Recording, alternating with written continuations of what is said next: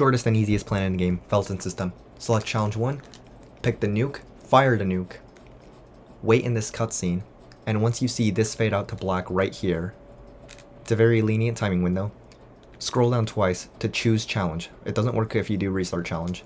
Select mission 1 again, and just keep tapping circle until you fire the nuke, and bam, you win.